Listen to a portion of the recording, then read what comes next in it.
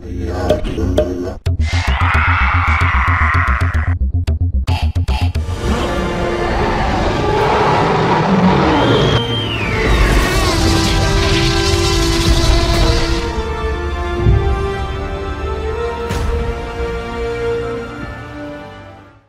guys, hope you're all doing well. Now for today's video, I wanted to talk about something that was introduced in Fallen Kingdom. Towards the beginning of the film, Eli Mills brings Claire Dearing into the Lockwood Manor and goes over the history of the clone dinosaurs. In the film, he states that before the islands, Isla Sorna, and Jurassic Park, Hammond and Lockwood used this facility to extract the first DNA from Amber. He also mentions that Benjamin Lockwood is extremely interested in protecting what's left of the Nublar dinosaurs by organizing a rescue mission that would safely ferry them away away from the island's imminent destruction. This new location that would be used to help secure the dinosaur's future was dubbed the Sanctuary Island, and it's even shown off in an elaborate display that Lockwood has put together for the Claire Dearing pitch. If we take a look at this island, we can see that it looks radically different to any other island that we've seen before in the Jurassic Park movie canon. The characters comment on how this piece of land is fully self-sustaining and protected by natural barriers that will prevent any tourists from getting in, as well as any dinosaurs from getting out.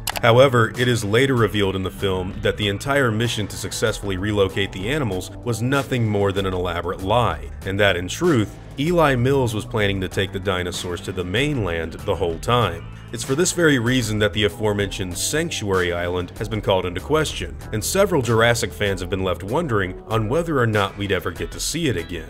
During its introduction, Benjamin Lockwood states that they have created a sanctuary. Whether or not this means that the island is man-made is still up for debate, but he does make it seem like most of the location was created naturally through normal causes. Since Lockwood's intentions were definitely sincere in Fallen Kingdom, we're led to believe that he really does want to fulfill John Hammond's dream that we all saw play out on national television at the end of The Lost World, which means the sanctuary more than likely does belong to him, or it's a piece of land that he has at the very least recently acquired for his estate. The entire goal of the location was heralded as a gift that the old man wanted to give to children, specifically his reborn daughter who loved dinosaurs, Maisie. So, one of the most interesting aspects of the Sanctuary Island, in my personal opinion, has to be its overall shape. If you look at the way the landmass is presented in Benjamin Lockwood's diagram, you'll see that it forms this nice crescent shape that's almost like a little moon. Well, here's where things get really interesting, because this particular island shape might just have some connections with an aspect from Jurassic Park's past that predates the Los Cinco Muertes lore that came about in The Lost World. If we go back to the original Michael Crichton novel, we get information on additional Jurassic Parks that John Hammond was planning to open all around the world. Apart from Isla Nublar, sites like Jurassic Park Europe and Jurassic Park Japan were also briefly discussed. You can even see evidence for them existing during the lunch scene in the first movie. Well, the location of Jurassic Park Europe is really what I want to talk about here, because I think it's quite possible that the Sanctuary Island may in fact be a reference to that very location. In case you didn't know, John Hammond had plans of opening up Jurassic Park to European visitors in the Azores Islands.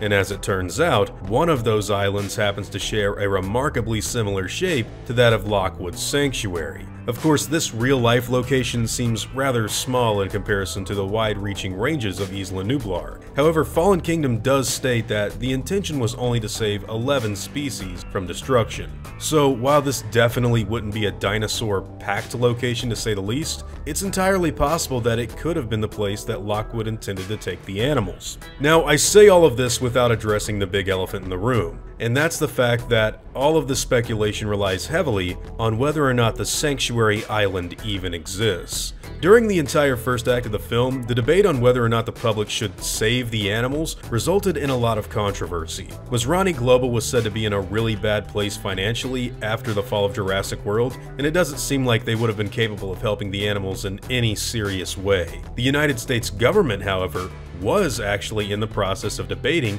on whether or not they should relocate them. Whether their idea of sanctuary would have been Site B or possibly some other location was never spoken on screen. But had it not been for Ian Malcolm convincing them not to, they probably would have gone ahead and done it. Enter Eli Mills, who is the first man that tells us all about this wonderful dinosaur reserve that he had hopes of taking the animals to. It's here where we not only get information about the Sanctuary Island, but also where we hear him tell his first lies. Mills tells Claire that the reason she's been summoned to the Lockwood estate is because they need her handprint to locate Blue. We're led to believe that they don't really have the tech to get into the Jurassic World system successfully, but Miss Dearing most certainly does. However, later on, Owen states that Lockwood's flunkies had already contacted him before Claire ever took him to the bar. And once Grady's initial plans of relocating Blue go sideways, it's revealed that things aren't exactly going the way our protagonists thought they would. In truth, Mills had equipment to access Jurassic World systems from the very beginning. We even see his men successfully open up the Mosasaurus gate in order to retrieve a rib bone from the Indominus. He even states later on in the movie himself that he was sorry he lied to Claire, but it was the only way they could get what they needed. No Claire, no Owen, no Indoraptor project. I just wanted to come and apologize. I didn't want to bring you into any of this, but it was the only way that we could get the raptor.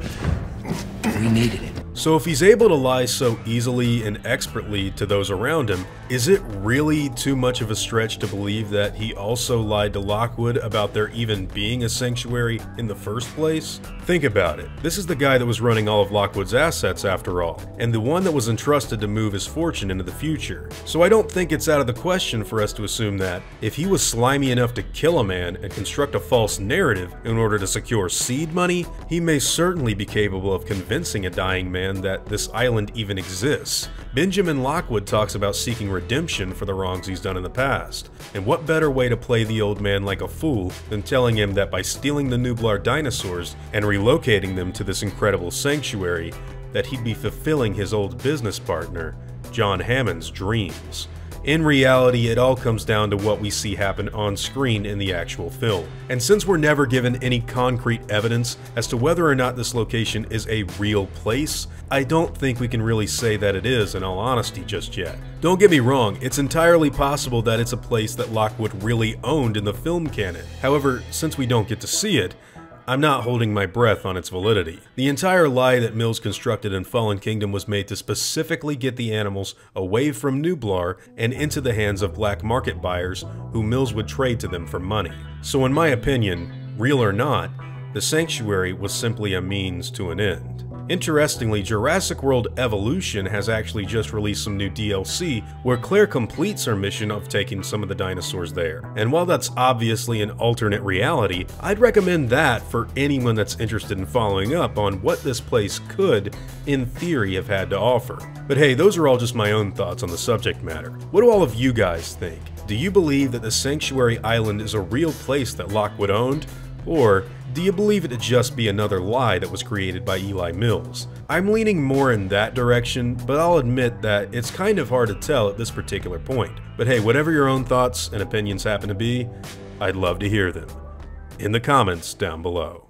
Now before I go, I'd like to thank all of my game wardens, as well as all of my InGen executives. I'd also like to thank all of my park workers and InGen hunters as well. Guys, it seriously means the world to me that you all even continue to watch these videos, and I want to thank each and every one of you for all of your continued support. Now, I'd like to thank all of you for watching this video and hope you all enjoy today's content. If you feel like I deserve it, I'd appreciate the like and hope that you'll consider subscribing if you're interested in hearing from me again. I'll see you on the next one, guys, and as always, take it easy.